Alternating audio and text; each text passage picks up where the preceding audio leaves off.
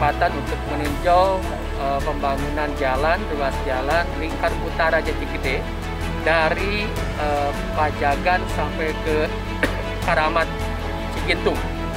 Alhamdulillah ini jalan sudah hampir selesai. Jadi sekarang lingkar utara tahap 2 sudah hampir selesai. Dari pertama Eretan Jati Gede sampai Pajagan, tahap satu dan sekarang Pajagan sampai ke Cigintung di kampung atau dusun Keramat yang arah puncak Pinang. Insya Allah doakan mudah-mudahan tahun depan bisa selesai di tahap tiganya sampai dengan daerah Pasir ini. Alhamdulillah jalan ini adalah salah satu jalan yang akan mempermudah akses ekonomi, akses pariwisata, mempermudah arus orang dan barang dan berbagai aktivitas.